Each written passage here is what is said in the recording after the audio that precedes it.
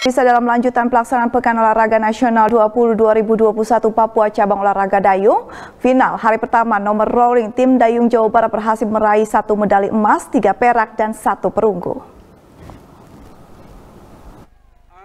Tim Dayung kembali sumbang medali emas bagi kontingen Jawa Barat, kali ini dari nomor rowing. Dalam pelaksanaan partai final hari pertama nomor rowing, tim Dayung Jabar berhasil meraih satu medali emas, tiga perak, dan satu perunggu.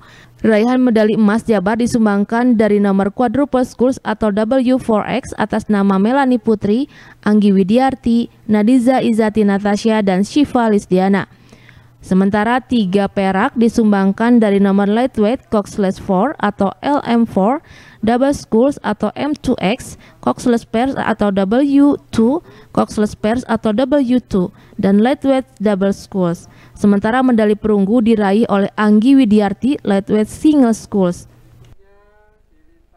Manajer tim Dayung Jabar Alia Maidiana mengatakan pada final pertama nomor rowing, tim Dayung Jabar hanya mampu meraih satu medali emas dari target dua medali emas di hari ini.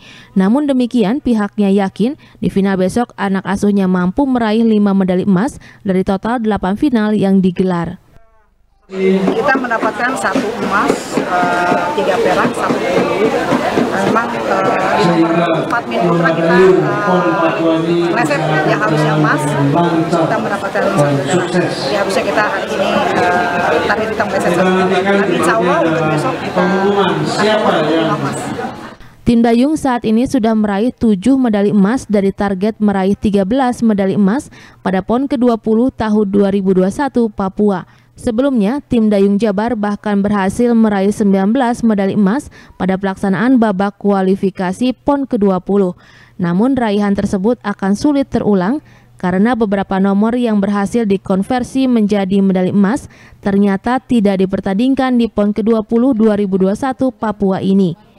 Irfan Haryadi, Bandung TV